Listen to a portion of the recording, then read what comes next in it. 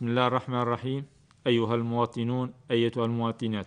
أبناء جابس العزيزة في إطار السعي إلى تكريس وبناء الديمقراطية في تونس نتقدم إليكم بقائمة حزب البناء الوطني التي بها سنمثلكم في مجلس نواب الشعب إن شاء الله وسندافع بكل ما أوتينا من جهد وإرادة قوية لتحقيق أهداف الثورة من محاسبة الفساد وتكريس العدالة الاجتماعية وبناء الدولة الحديثة مع المحافظة, المحافظة على قيمنا الإسلامية وهويتنا العربية ومكاسبنا الوطنية.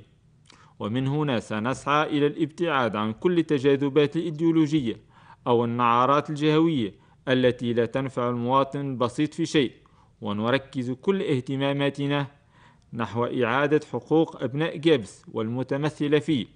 أولا الحق في بيئة نظيفة وذلك بالكف.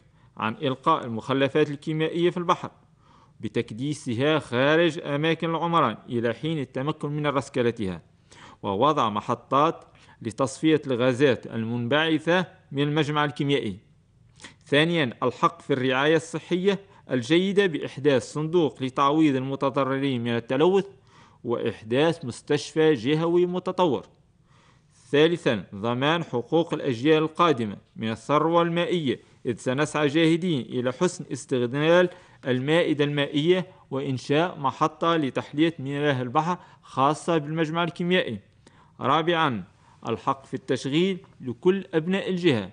إذ سندفع المسؤولين الجهويين إلى التسريع في إنجاز المشاريع المعطلة التي من بينها المناطق الصناعية المبرمجة وجلب المستثمرين إليها.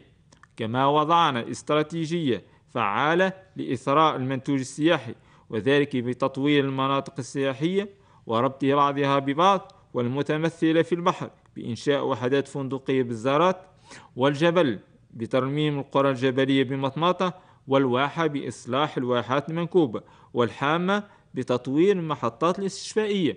كما أننا سنقوم مجاهدين بتنشيط مطار جابس مطماطة برحلات قارة نحو الخارج وبإصلاح وتطوير السكة الحديدية. أبناء, أبناء جابس الأعزاء أننا سنكون عمليين وفعالين ومساندين لكل من يريد بناء جهتنا بكل إخلاص وتفان. فلا تبخلوا علينا بتأييدكم وكونوا في الموعد يوم 26 أكتوبر لتنتخبوا القائمة الرقم 20 قائمة حزب البناء الوطني قائمة السنبلة والقلم. فمعا لنبني أسس صلبة لمستقبل تونس العزيزة. عاشت تونس حرة مستقلة. والسلام عليكم ورحمة الله وبركاته.